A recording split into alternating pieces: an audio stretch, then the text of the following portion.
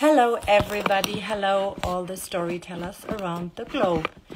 Um, today I have a special guest, and I think I announced her to I announced her to you already. It's Vicki Moore, and she wrote this fantastic book, Life Beyond Should, and um, I will tell you all about it in a minute. And um, Haruto, it's you already. Okay. Oh, Carolina, that's so nice. Hello, Claudia. That was quick today because I everything went wrong in the preparation and I wasn't sure if it worked out with my mobile. But great, you're there. Everything's working out fine. Okay. So, um, let me start with the first quotation of this really fantastic book. Um, how many hours do you spend a day doing something you want to do? And how many items on your to do list are actually for you? I want to welcome my guest Vicki Moore today, and she wrote about life beyond should, and that we all have a lot of shoulds and a lot of expectations in our lives. And um, I met her a few months ago, and then I read her book, and it changed a lot of the ways I even look upon my own life. So now I have to invite her in. Everything is improvised as always. Woo! I hope the mobile doesn't fall down. Los Angeles. And she does speak German, but she prefers to. Ah, hi, Vicki. Hi. Hello. Great to have you. Um, Thank you. Thank you for inviting me. Yeah, okay. So I have to fix my camera a little bit. Otherwise, you just see my eye. Okay. All right. So, um, uh, before I start asking you all my questions, um, I would like to say that I really, really enjoyed your book and that it uh, changed a lot of the ways I uh, started to look uh, upon my own life. And i have been writing diaries and uh, stories, as you know, for a long time. And I always knew, uh, thought I know my life pretty well. And I know um, that my goal is my goal or that the expectations that I have are really my expectations. And since I read your book, this has changed a little bit. Um, and in your book, you're writing a lot about that we uh, human beings in the modern corporate world, we have a lot of shoulds in our life. And um, before we dive into that, into the different kinds of shoulds and expectations, I would like to ask you can you tell us a little bit about your own story and what made you write this book and, and pick this topic?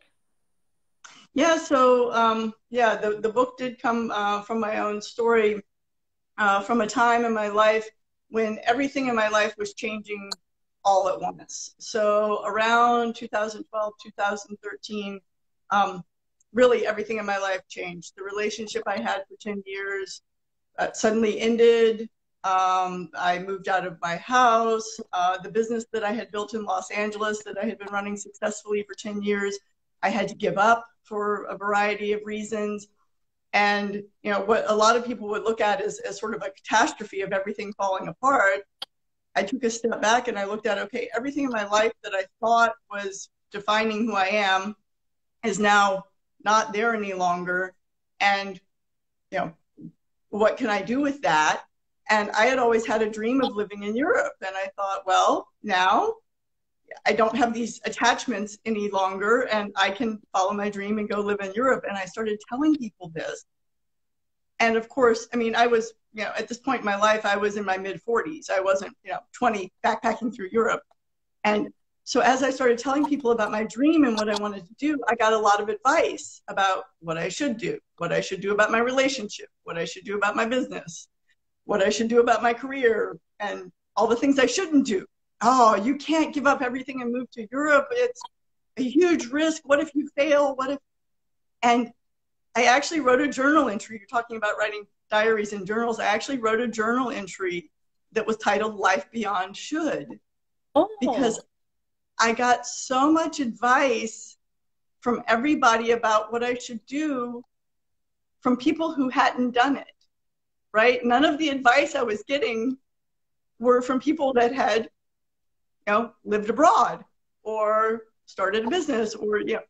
And so this was 2013 and then i did move to europe.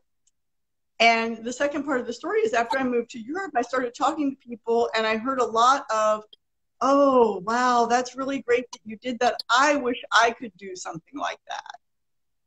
And then it was almost immediately followed by but and then all the reasons they couldn't do something like that uh-huh.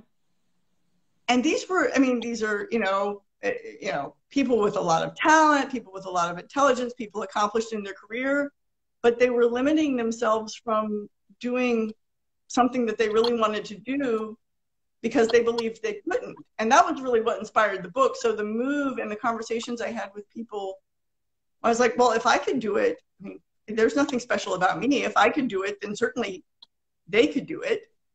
And I just really wanted to communicate that message to people that it is it is possible. Wow.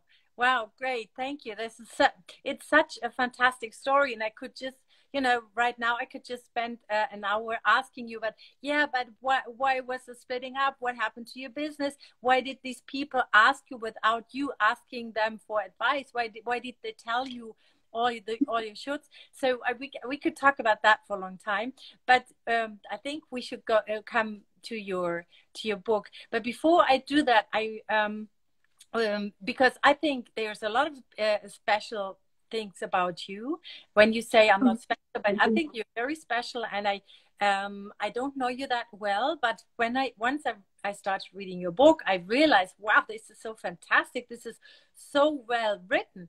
And one of the things that I really like in particular about your book, because I'm not uh, the typical, I um, I really love um, novels, and I'm not really as uh, a self help uh, book reader or um, or something like Sachbücher in German. But your book is full of storytelling, and you tell these amazing and and very um, motivational stories about other people. Um, so uh, was that clear right from the start that uh, that the storytelling will be a, uh, uh like real stories from real life and even from your own life will be a big part of this book? Yeah, that was exactly it. I wanted to I wanted to show that quote unquote normal people could achieve exceptional things. Mm-hmm. And so I intentionally I got a lot of pressure from the publisher at the beginning to interview people, you know, big name people, right? People that would, you know, you see their name in the in the book description and like, oh, I want to read about them because they're, you know, the CEO of a company or they're a famous actor or they're and I really, I was like, no, I want to tell the stories that people haven't heard. I want to tell the stories of, of people that are in the circumstances that we're all in, but that had a big dream and they were able to achieve, that dream through the different strategies that I talk about in the book. And so that was very intentional with the people that I that I interviewed to sort of get the behind the scenes stories that you don't hear about in the media all the time. Yeah, yeah and uh, and also I thought it was very courageous because you tell very personal stories of your own life, and I I mean I I'm very fond of that. I really like that, but um, not very many writers do that, especially not in Germany. I think it's a bit different in the United States, but in Germany, most people are so scared about telling personal stories about themselves, so they won't do that it was um, it's still something i'm getting comfortable with to be quite honest because i've i've had a corporate career for the past 20 years and this book is very different than the work that i do in my corporate life and my colleagues don't know this side of me and uh. now suddenly this is out in the world with my name on it and now my colleagues will know stories about my life that i've never told them before and so it's it's a little bit um, yeah it makes me nervous a little bit, but it's also a really liberating feeling, right? Now this there's this really authentic version of me in the world that I can be very professional and very corporate and be very good at my job and also have this personal side of the experiences that I've had and why I show up the way I do in the world, even at work. I mean, that's we bring our, our personal selves to work. So why yeah. not share that? Yes. And that's one of the biggest mistakes that I think that still exists in the corporate world or almost everywhere that they think that you have to leave your private, your personal life outside when you come in. And I think this is somehow really difficult because this is all one. I mean, we are not, uh, you cannot split us half and half. So, um, and I think a lot of people, uh, all around the world would be so much happier if they could be more authentic and tell more their truth even at work. Yeah, and and I think luckily, uh, you know that that is starting to be a topic at work. Managers are starting to realize that that they are starting to you know embrace more empathy and emotional intelligence and diversity. And so the fact that that's even starting to be a conversation, I think, is a really a good sign that we're moving in the right direction. Yeah, yeah. Okay. So um, now that we know a little bit about you, um, let's start like the way you start in the book because you start with what is an exceptional life and uh, what you need and what don't you need or because you were saying uh, a lot of people think I mean, I don't have the quote right now, but a lot of people think they have to be exceptional and very talented and uh, very lucky to have an exceptional life. And you say, no, this is not the case. Can you uh, dive into the way you perceive a, an exceptional life and what it needs to lead an exceptional life? Yes, well, I mean, it is a very personal definition, of course, but I mean, my definition of an exceptional life is leading a fulfilled life where you get to use your unique talents and capabilities in a way that both makes you happy and contributes something to the world around you. And so my version of an exceptional life has nothing to do with how much money you earn or, you know, how many followers you, followers you have necessarily. So it's a little bit different than the traditional, you know, what's publicized as the you know the Hollywood definition of of exceptional. Yes. Um, but you know what I what I found in interviewing people for the book, the reason I define it that way from my own per, my own personal experience, but also the people I interviewed, I interviewed so many people that had achieved that definition of success. They climbed the career ladder really quickly. They had fabulous jobs and travel and you know expensive holidays and you know all of the worked for top name brands they had all of the traditional sort of media defined definitions of success. And they were miserable. And they were miserable because they weren't what they had achieved the goals they had achieved weren't in line with their values. And that's really the difference i find is if you if you if you create a life where what you're doing and what you're contributing is aligned with your values and who you are, then to me that's success. Yeah. Yeah, absolutely, absolutely. That's so interesting because, in my point of view, this has this what you just said about people having goals that didn't make them happy. This has so much to do with storytelling because in storytelling, we very often we tell that people are pursuing their goal and they have certain expectations with their goal. And by trying to fight for this goal, they realize that in achieving this goal, they will never uh, reach that expectation that they are hoping to get, or this this dream that they're hoping to get. So they have to uh, change the direction and find another goal. And um, I uh, found that very interesting because what you say basically is um, people are not very happy uh, when they have this kind of of uh, um, dreams and goals of wealth and and um, um, uh, status symbols and everything because these are not their go- their goals, right? Well, yeah, but it, it and I want to be really, really careful because it can be a goal to to have a lot of wealth or to be the CEO of a multi-million dollar company. This this is a legitimate goal for a lot of people yeah. if it's aligned with your values. So, yeah. Yeah, um, but you just have to be really careful with why why you're pursuing that goal. So, for example, there is a CEO in the book who started a company uh, to develop um, flavored water without sugar. And she put her career on the line and put all of her personal investment into this company to, to develop water without sugar in it. And yet now it's a, it's a very successful company. Um, but her goal wasn't to make a lot of money. Her goal was to help people be healthier. By creating a healthy beverage that they could drink. And that's the difference is you can still be successful, but it's the underlying why am I doing this? And I think, you know, when we think about our goals, when you when you break down a goal, it really comes down to three different things. What do I want?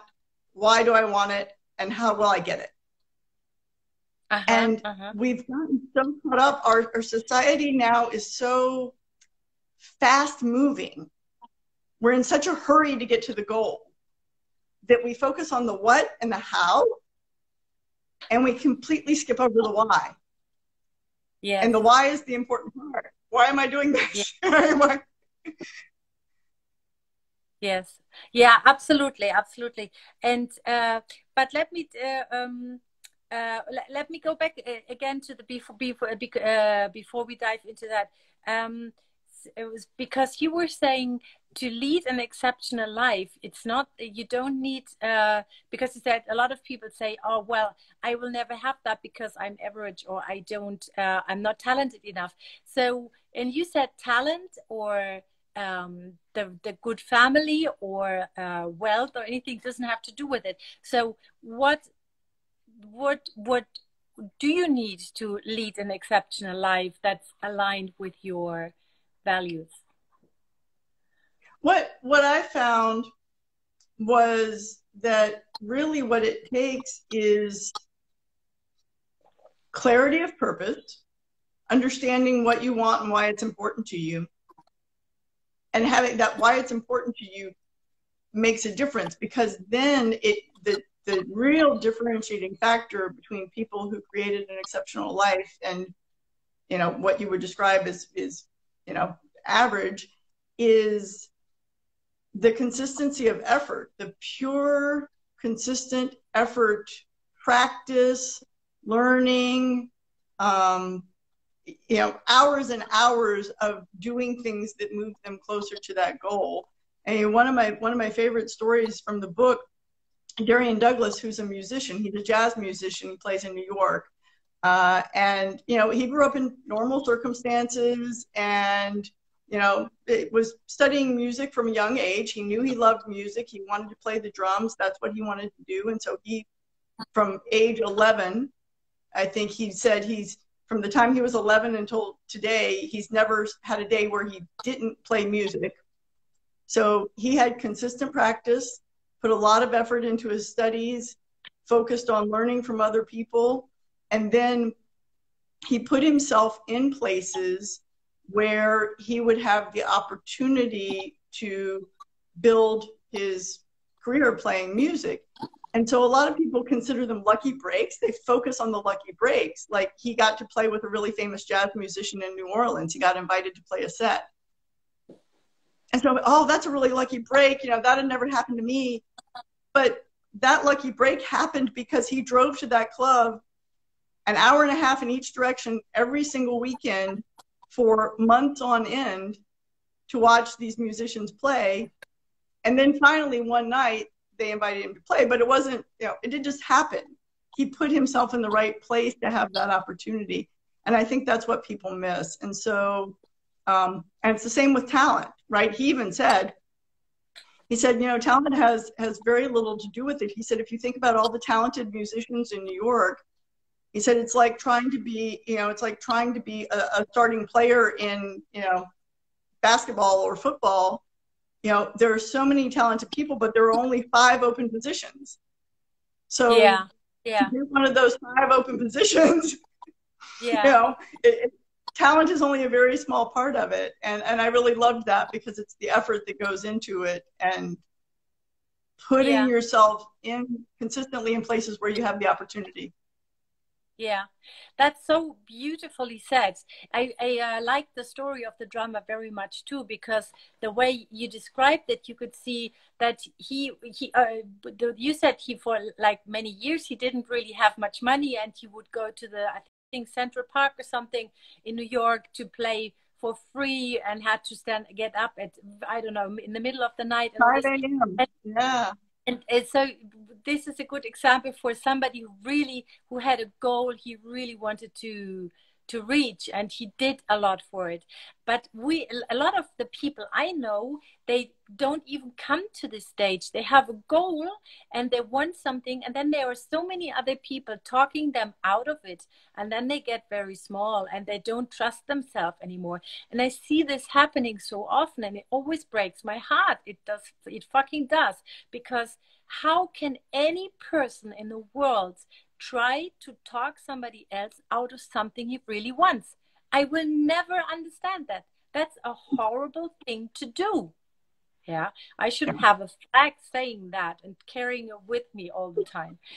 So anyway, what re- uh, I, I built a bridge to to this topic. What really touched me in the book uh, was uh, because in my eye, the the drummer he's kind of an exception, and and we more often deal with people who want something but they don't really have the the courage so much more. And uh, by the way your book has a has a solution or a program a motivational uh, help program that's called courage which i like very much and the way you put the the meaning of the words but we will come to that later. And um, but what really touched me was the story, which is kind of the opposite of the drummer's story uh, about yourself when you said uh, you were standing in front of the the executive committee and you had to fight back tears. Uh, can you tell that story and what it made you, what it, how it opened your eyes about something? Yeah, so uh, this is a story in my. So I got a, uh, a job in my corporate career when I moved to when I moved to Germany. Of course, I needed a visa to live in Germany, and so I got a, a job with a large uh, multinational corporation, and I was very happy to have this job because it allowed me the opportunity to be in Europe, which was my my goal. Um, but the job itself was was very stressful and very scorecard oriented, you know, always, you know, checking all the boxes and corporate goals. And um, I, I, I worked really hard and, and you know, in, enjoyed some of what I did, but, but really gave a lot of effort into everything I was doing. And um, I traveled, this was a meeting with all of the managers from Europe. And so I traveled one morning uh, from Germany to uh, England went to this meeting at 9 a.m., stood in front of the room to give a presentation. And this was not, I mean, I'd been doing this for two years. I give presentations all the time. It was not a big deal. I knew these people. And I'm standing giving a presentation, and all of a sudden, as I'm giving a presentation, I hear my, my, my voice starts starts cracking and and I, I feel tears in the in the corners of my eyes and I'm, I'm talking about PowerPoint slides. I'm like, what, what, what, why is my voice cracking? What's, what's going on here? And, and I could see it in the faces of my colleagues. They, they heard it and nobody was sure why I was on the verge of tears. And I managed to get through the presentation and, and quickly get out of the room. And it didn't occur to me until I was getting out of the taxi as I got back to my apartment at 10 p.m. that evening it didn't occur to me that I had just worked basically a 16 hour day and about 15 minutes of that day had been something that I had actually enjoyed, something that was for me. And um, and I had been doing that for a long time. And it was just it had just all come to a point where it was just too much. I you know, finally finally something in my brain said like no, we can't do this anymore. Um, but it really took that. It took being, you know, al- almost crying in front of the executive committee for me to realize that this was not how I wanted to spend my time.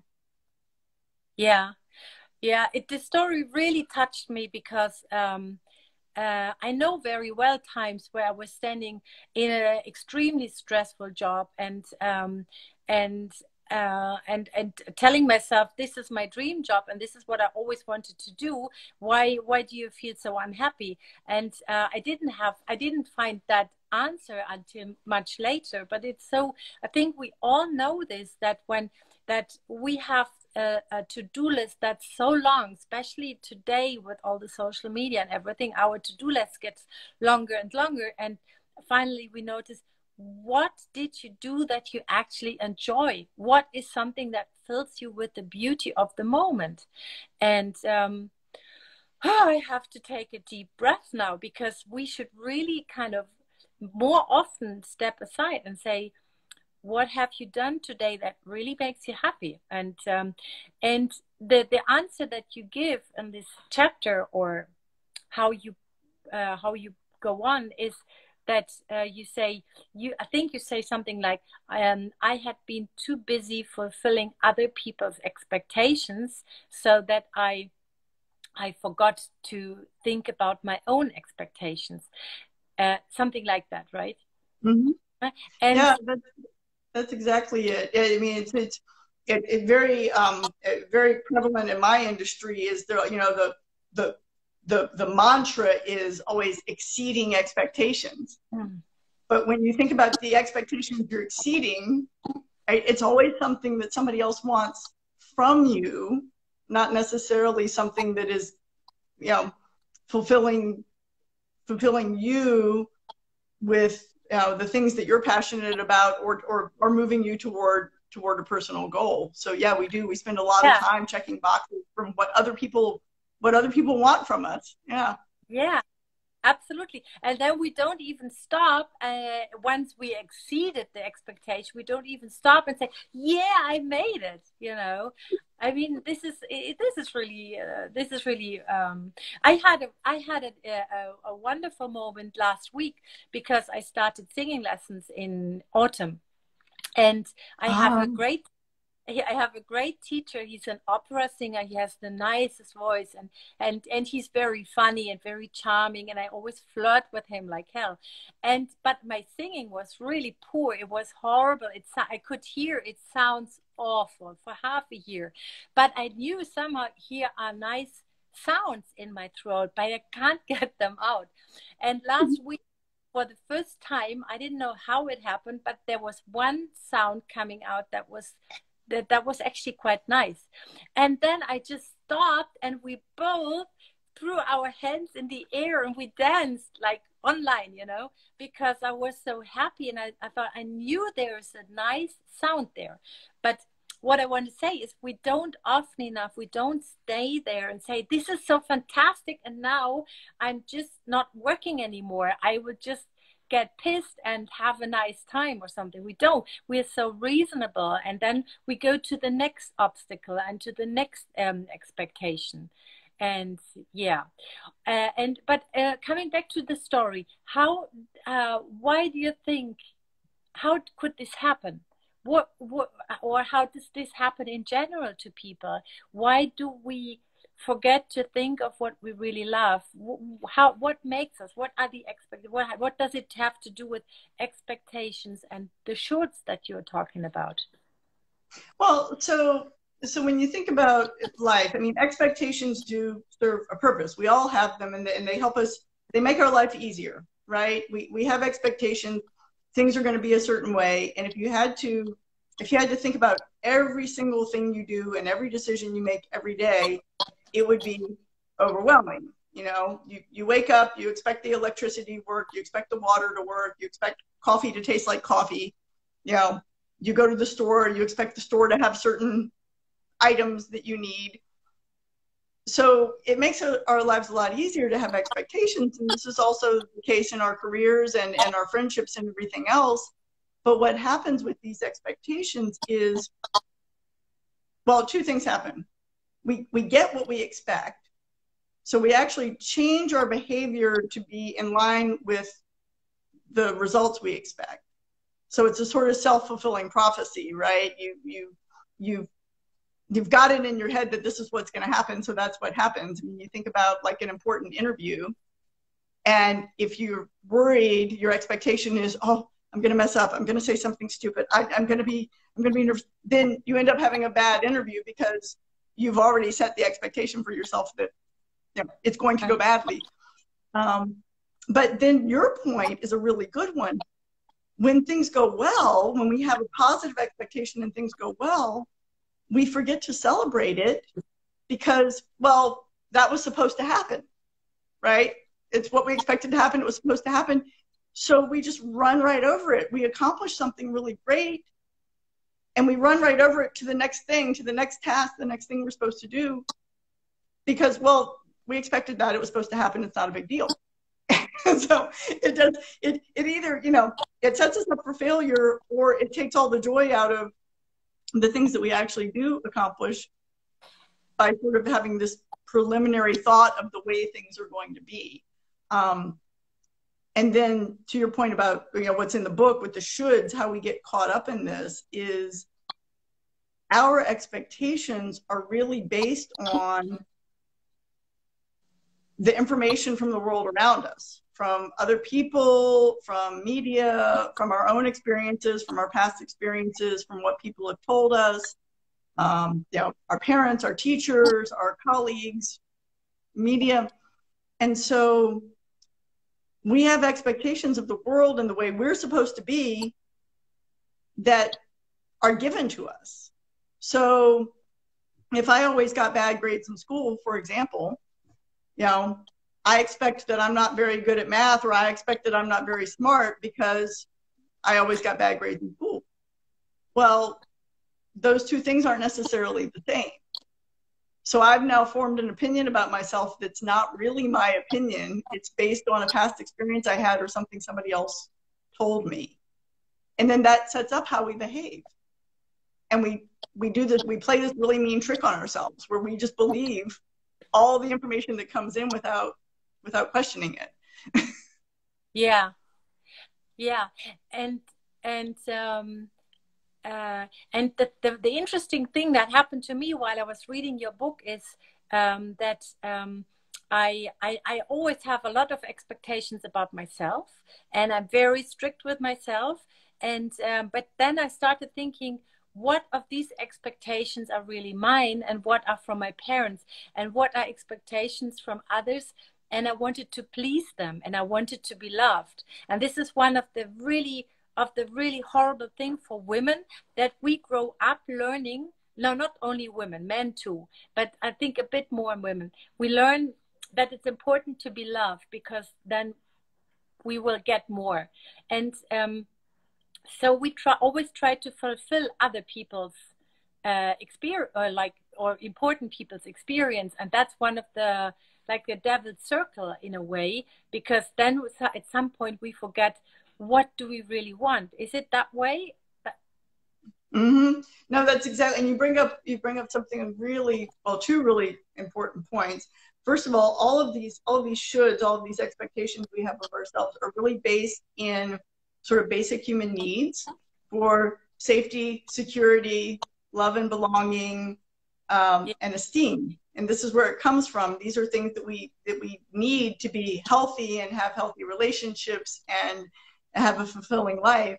Um, so they're they, they come from important places, but they get expressed in ways that don't necessarily help us. And these are the these are the shoulds about you know I should act in a way that everybody likes me. I need to I need to make other people like me in order to fit in, or I need to please my parents and do what they say, or um, you know I need to please my boss and so the intention, the underlying foundation of safety and security and acceptance is good, but the way we create it in our lives doesn't necessarily help us. It actually does the opposite. Oh yeah. It actually when we're when we're inauthentic, when we're like people pleasing is one of them.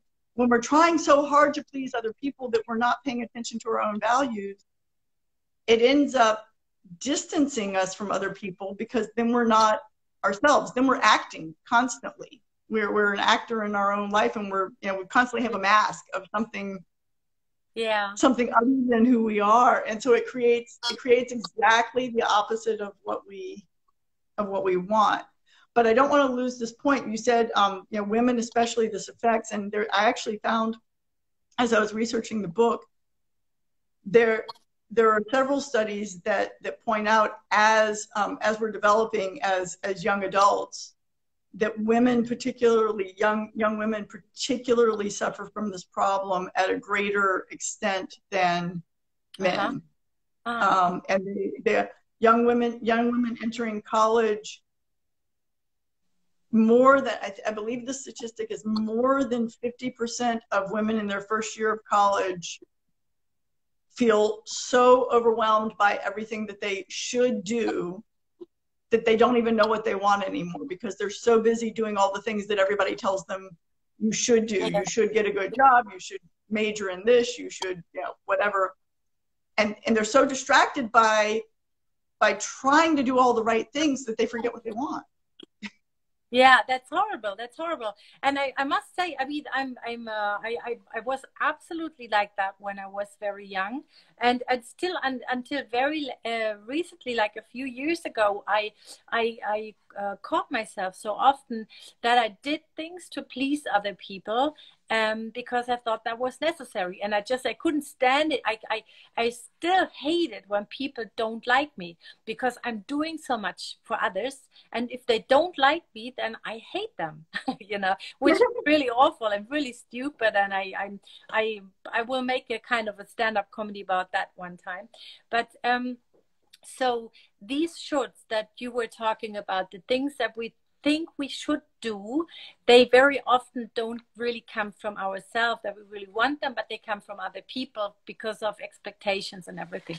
So, what would you say to the people who are listening today or in the in the next days?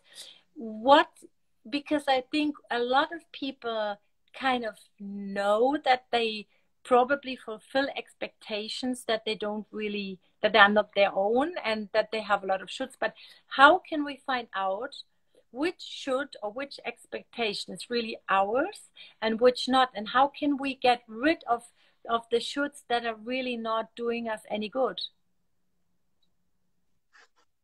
Well to find out which ones are are ours and which ones are coming from other places one of the easiest sort of exercises I've seen to to dive into that a little bit is um, a method I learned from my corporate career called the five whys. And basically, the the theory is to get to the root of any problem, you just have to keep asking why until you can't ask why any longer. Ah, okay. And what it does, so a real simple example, you know, I want to lose weight. Why? I want to be healthier. Why? Okay, so if you take the I want to be healthier, the answer to that why could be I want more energy so I can play with my kids. Or it could be um, I want to feel more confident at work. Or it could be I want to run a marathon next year because that's a personal goal. Or it could be um, I want more energy so that I have more time in my personal life to write a book or what. So the, the very simple, I want to lose weight can go down so many levels. You know, if you think about, I want to be healthier so I have more energy so I can play with my kids. Then oh. the goal, the goal isn't I want to lose weight. Uh-huh. The goal is I want to be more present for my children. Yeah. But yet yeah. we've attached a we've attached a superficial yeah, what we're told, a should. Yeah. Some to some underlying much more foundational goal that's in line with our values. And so I think asking keep asking why until you can't answer it till there's no longer another answer to the why. And then that's the real goal. Ah, okay. Uh, this is very interesting. I have to. I, I know now. But I did that like the one thing that I'm really harassing myself about. I will just tomorrow morning. I will just try that out with the five whys. I'm really nervous what's going to happen. But is that uh, what you said about losing weight? Maybe that's the reason why I don't lose weight because it, I um I just want to look better and I want to uh, wear my old clothes and I don't really have anything like um being more energetic and playing more have more time with my kids. I you know it's it's just more like a superficial wish so probably that's why i cannot the should isn't working that i i don't i don't lose weight so to say. Yeah it could very well be. There's um there's a psychologist, um, Susan David, that talks about the difference between have two goals and want two goals. And have two goals are basically a should. You know, I should lose weight because the world tells me I need to look a certain way. I need to be healthy and fit, you know, multi-billion dollar industry with all the health products out there. Um, but if it's something everybody else tells us we should do, our doctor says we should lose weight. My boyfriend says I should lose weight. My, if I don't really want to lose weight, no amount of other people thinking I should is really going to motivate me to do it. But if if there's some attachment to it that's important to me, then then it's in line with then you know my brain actually catches up to that like there's an underlying value that's important and therefore i'm going to put effort into achieving this goal kind of back to the original point the reason people achieve exceptional results is they put a significant amount of attention and energy and effort into achieving those results and so if it's not important enough to you to put a significant amount of attention and energy into it, then it's not going to happen. yeah, yeah. But uh, we were we were making a bit of fun now with the weight loss uh, example, but of course. Um, uh, it can have absolutely dramatic uh, consequences for people's lives when they have too many shoulds and they are just not living the life they want. I mean, I have friends and acquaintances around me, and I can see they are unhappy and I don't even know it because they are just not doing the things they really want to do. They are running from one uh, task to the other and never take their their time. And it's it's really heartbreaking. And in some cases, I'm very worried that my baby, this friend, will have a heart attack or something too soon, or he will end up being uh, having um, diseases because he for for 40 years he never took his time to relax and to not worry about money or anything. So um, it does have it, it does make people unhappy. These shoulds yeah. that we are talking about. Well, and it makes them unhappy, and, and, and being being unhappy in that way, in that sort of stressful way, is unhealthy. I mean, several people that I interviewed for the book had had had already had multiple burnouts. So one of the women that I that I interviewed she had had two burnouts before she was 26. Now, I mean, you think about burnout and you think about, you know, top level CEOs that are, you know, 40, 50, 60 years old. This woman had had two burnouts before she was 26 because she was pushing herself so hard to check all the boxes and achieve all the goals that she thought she should do. And it finally, it, it took that sort of a complete meltdown for her to realize you know to slow down long enough and look about look at the goals that she was achieving and and, and where they were coming from. And yeah. and then she realized she realized well yeah I'm, I'm achieving all these things and i'm doing really well you know successful by by all definitions but miserable and ill. I mean that i mean it's but you get to the point where you're that miserable and it actually has a physical effect on your body and oh. that's what really is the danger i think for people yeah. So and uh, for so the uh, because we we've been mainly talking about the first half of your book, and this is where mm-hmm. you tell all these really fascinating stories about um, where the should and the expectation come from and what it does to people and how they could overcome it. Uh, but this uh, and I really like the way you made these two parts. That the one part is called um, the stories we are being told, right? And mm-hmm. the second part is the stories we could tell or something? The stories we could create. We could create, yeah. I love that one. I mean, as you know, I'm just a storytelling lover, and uh, so this is such a, a, beautiful because, in a way, it's it's absolutely right because uh, storytelling is so powerful, and in uh, telling our stories, we can create our life, and we can create it in absolutely new ways that um, haven't occurred to us before.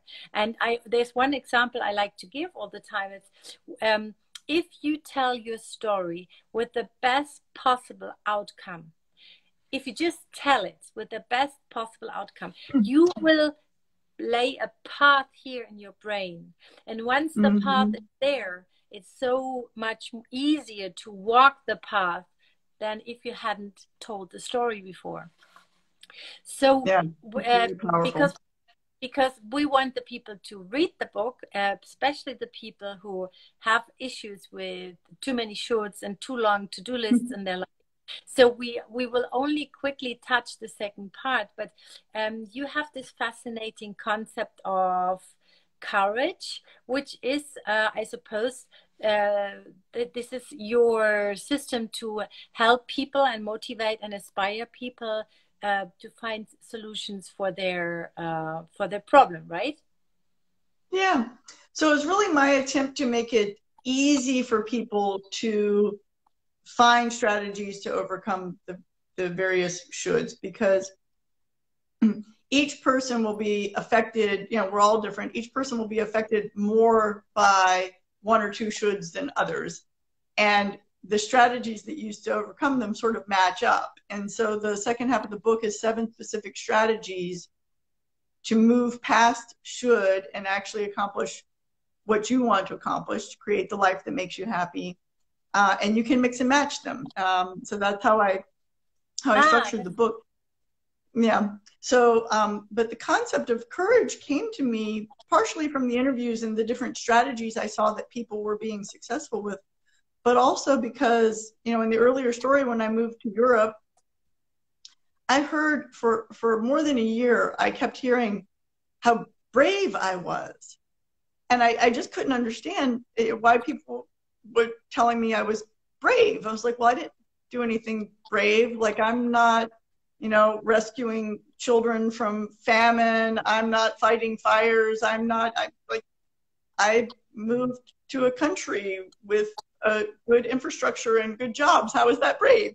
and, uh, and but then I realized as as I was talking to people, what they meant was they meant this sort of personal courage that it, it, it does take it takes a little bit of internal bravery to get past the things that everybody else thinks you should do and actually do what's important to you. I was like, oh, that's what they meant. And so that's where courage came from. And then each of the each of the letters of courage is a specific strategy to overcome one of the particular shoulds. Um, and it's it's the stories from real people and how they've how they've achieved that and what they did and um, you know, really sort of ideas for how you can apply that in small ways to your life. So this is the thing that I found is really important. It doesn't have to be a big leap. It doesn't have to be, I'm going to change overnight and go from, you know, A to Z.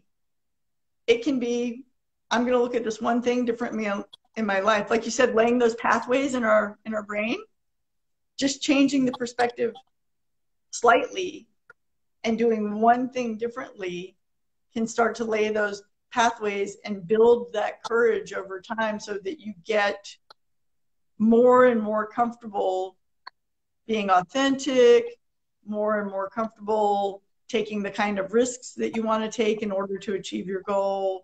Um, yeah, more and more comfortable um, overcoming obstacles and facing challenges. And so it's really a step at a time, little by little.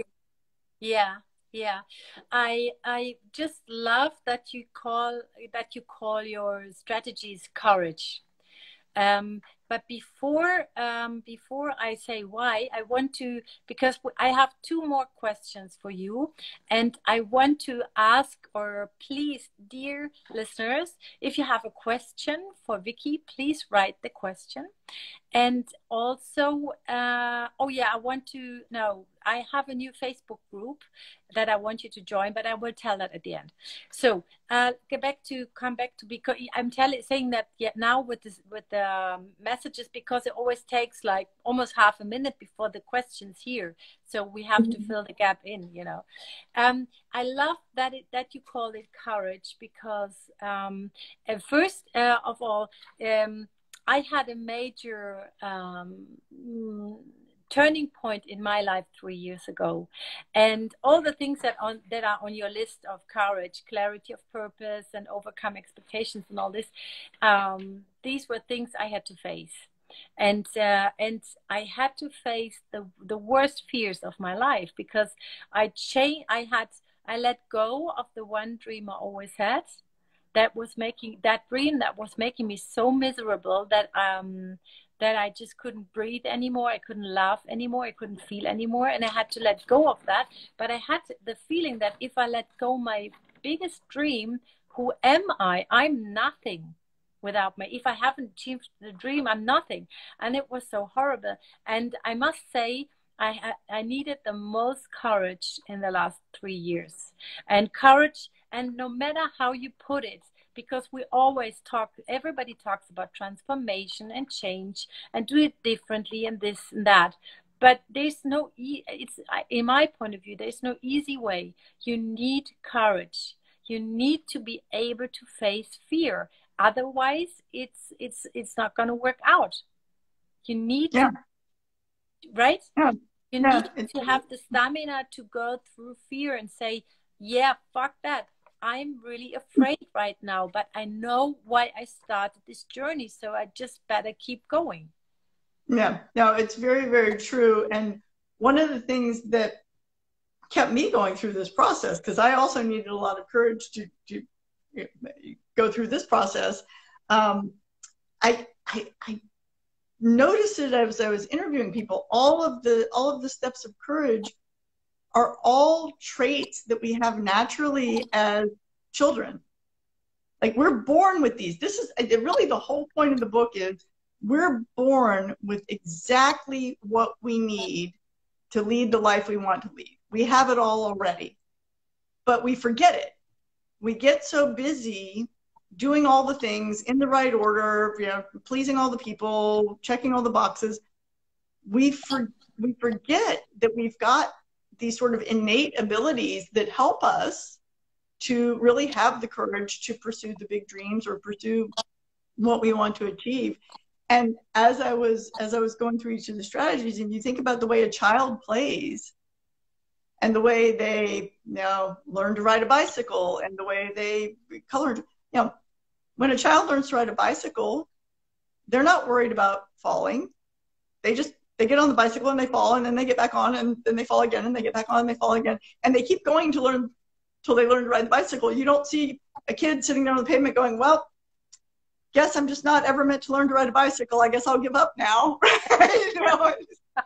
That's so nice this is such a nice quotation for towards the end that we are born with everything that we need. That's so nice. I i keep forgetting. Yeah yeah no and we are we are told we should learn this and we should learn that and we should do this online course. And i mean i love learning i must say. I love learning more and more and more but but actually we already have so much that we can use for ourselves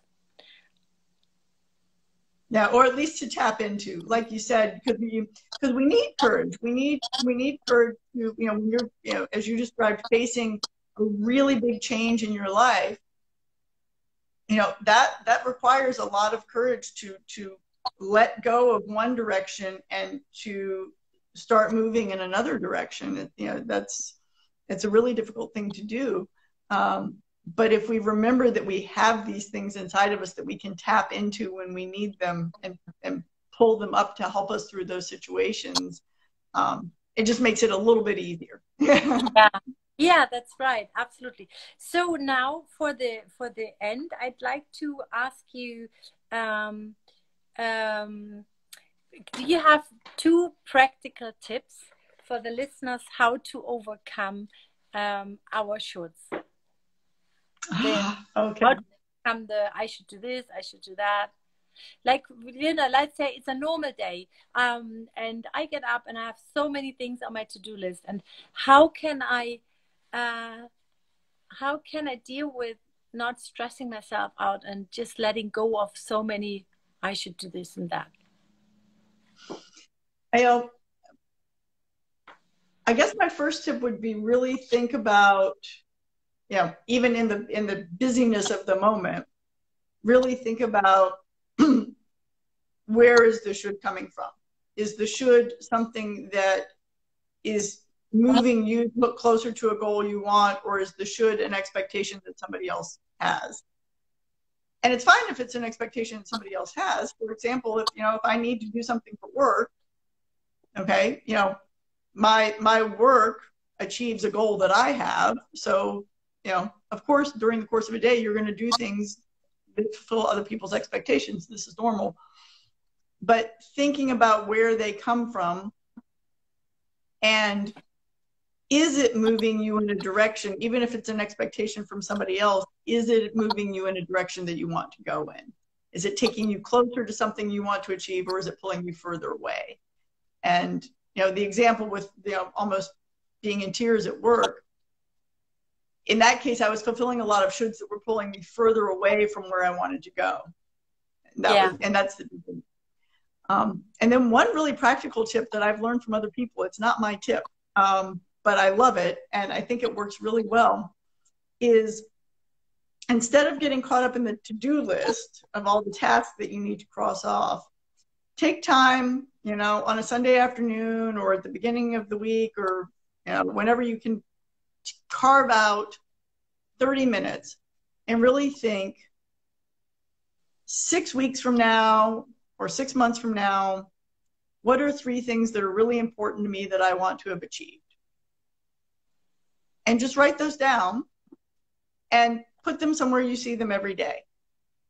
And then as you're starting to check off the to-do list, just glance at those three things every once in a while and look at the to-do list and say, okay, is it is it getting me closer to those three things or not? And if it's not, then you can still make a decision, okay, I need to do that because, you know, it has to get done. But it keeps you really focused on paying more, uh, prioritizing the, the things that move you closer to your goals rather than just checking off all the things everybody's asking you to do. Yeah, that's beautiful. That's a beautiful tip. I would do that because my to do lists are so long. Um, I don't know. I could be a millionaire if I got a penny for all the to do lists. and um, I would definitely do that. Um, and thank you, thank you so much, Vicki, for being here. I just want to, um, although you can't read it like upside down, but uh, this is what we've been talking about. It's it's really beautiful, and it made me think a lot. And and also it was very. I loved it because it's so entertaining. And I need, I don't know, I need stories and entertainment. Otherwise, I don't read anything. I must admit, I'm really bad in that. So um, I thank you very much, Vicki, for being here. And uh, thank you so much for inviting me. It was really a pleasure, and and yeah, and I'm so inspired by, um, yeah, by your storytelling and and you know the the passion and power that stories have, and so I'm yeah, I'm glad I was able to share a little bit in that. Yeah, yeah, yeah, and I hope we can have another longer talk sometime and dive deeper into certain stories. But for today, I think you uh, everybody got a good um, impression of the um, of what's the book about. So um, I I want to let you go now, and um, I wish you a beautiful evening. And um, oh yeah, and my Facebook group. I wanted to say something about my Facebook group because I have a new Facebook group that's called Tell Unforgettable Stories. And if you are interested in storytelling, join me on Facebook because we will put a lot of beautiful content and uh, storytelling and interviews in it. Oh, Claudia said, thank you so much for the really interesting talk. Thank you so much, Claudia. That's nice. Thank you very much. okay, everybody, I wish you a beautiful evening. And um, Vicki, I hope I see you soon live. And um, yeah, thanks for being here. Yeah, yeah? thank you so much, Catherine. Bye bye. Bye.